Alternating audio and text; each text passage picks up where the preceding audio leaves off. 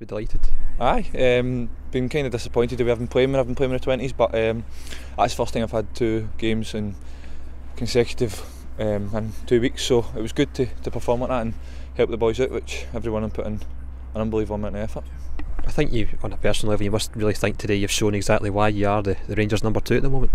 Um, no, that's that's up to the gaffer if I'm Rangers number two of that. But um, yeah, delighted to help the boys out, and um, if the gaffer feels that I'm doing enough to stay as number two, then great. If he decides it's better for me go loan, then that's what I'll do. So that's the gaffer's decision.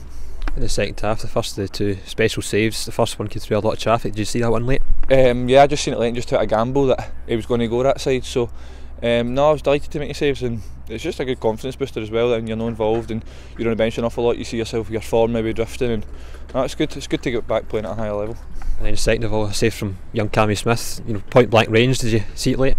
Um, it was a. It kind of just came through bodies, and fullbacks were knackered for defending all game, and uh, no, I did. I, Cammy was only a couple of yards out, so I thought he was just going to bury, but I managed to get my my leg and my, and my arm a bit of a combination of both, and put it onto the post.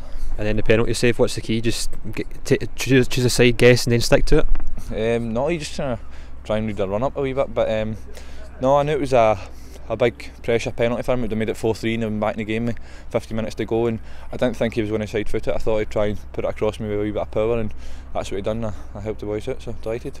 And after the last the last two weeks, two back-to-back 4-0 wins, what does it say about the character of this team? You fact you've come to the champions and beaten 5-2.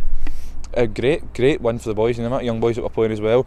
And the older boys really did step up today as well and I thought the energy levels were great. I thought we all worked really hard, and um, no, it was a great result against a really good Aberdeen team with a lot of experienced players playing.